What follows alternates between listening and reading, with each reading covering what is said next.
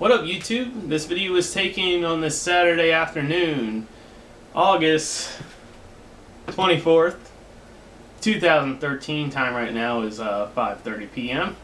And uh, this is a new video series, first video of a new video series. And I'm all that I'm a little leery about. It's going to be a project video series.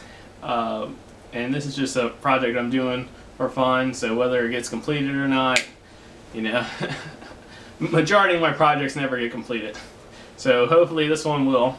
But I have a package here from uh, Hawaii, Kalu Kailua, Hawaii. So we're gonna start this video series off with unboxing.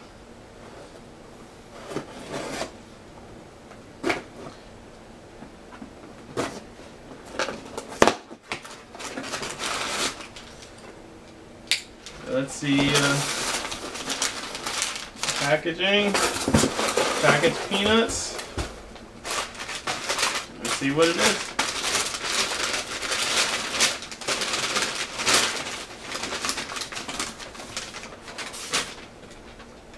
This is what it is.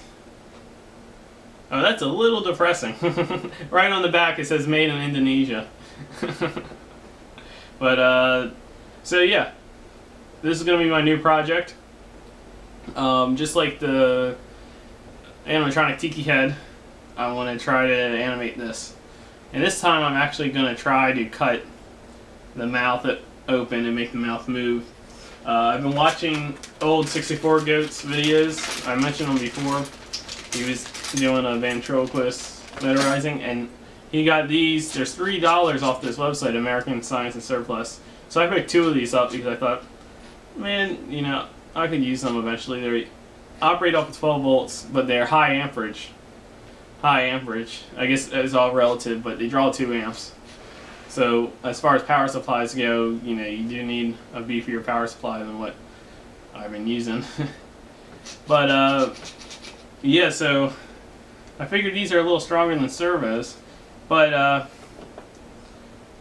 you see, the problem I had with the, I bought this from the same company I bought the Tiki head. The Tiki head ended up being a lot heavier when I actually got it, and that's why the servos didn't work out too good. But now that I actually have this in my hands, this is actually extremely light. It's made out of a, it almost sounds like it's hollow, but it said it was carved out of wood. But uh, yeah, this is going to be the next project. I'm going to try to make a wall mount it, and uh, it's definitely going to have mouth moving. It may or may not have uh, head moving. And uh, it's going to have a mounted on the wall. It's going to be a, its own standalone.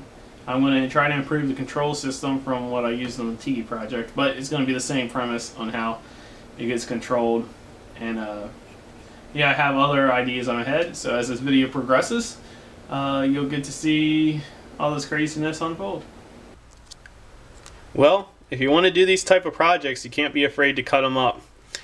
Uh, and man, I was a little hesitant when I bought this Dremel tool, but every time I use this Dremel tool, it's been well worth it. So I started the Dremel tool to get a nice clean cut, and then I ended up having to use, uh, the blade wasn't, you know, deep enough, so I ended up having to use this thing I had laying around. And uh, I'm starting to feel a lot better about this project already. So uh, this is, this thing is a lot lighter wood than what I was expecting. You know, when I I bought it from the same company that I bought that Tiki head. And that Tiki head I thought was going to be light like this, and then it turned out to be heavy. So when I bought this and I had those uh, solenoids, I thought, well, those solenoids will be able to handle heavy things. But now after feeling this, I think I'm going to scrap the solenoids idea, just hold on to them and just use servos. But uh, yeah, this cut, cut is nice and clean. So now I just have to figure out how to mount a servo to make them talk. Okay, so I got the mouth uh, movement set up. Here's what I did. So, I'm trying to use the KISS method on this project. Keep it simple, stupid. So, uh, I had this board laying around, and I decided to use this board instead of the plastic just because I can wood glue it and it'll be uh, you know, I can wood glue my joints, which is exactly what I did here. I wood glue a wood glued the joint there, and uh, I don't have to use any of the, you know, any brackets or anything. And uh, this project is light enough that this uh, wood, which I had laying around, I probably should have used that. What do you call it, balsa wood? But I didn't have that. I had this laying around for my other projects. So I made my own little uh, servo bracket. Turned out pretty nice.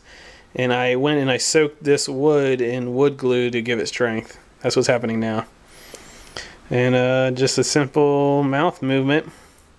Looking at the front, it looks pretty good. It is off a line a little bit, you see right there. But, you know, everyone's going to be looking at this from the front. So they're not going to know it's offline. I set the camera on the tripod so I can actuate the mouth with my hand so you can see how it looks.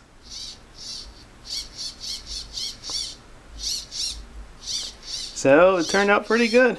And you see I uh, drilled a hole so it can come apart easily. So I'm going to end part one of this video here. Got the mouth working. So I guess the next part is I'm going to decide because I'm going to end up mounting this on the wall. I had to decide, and I think I'm going to try to get it to rock. So I had to decide how I'm going to mount it so I can get it to rock back and forth.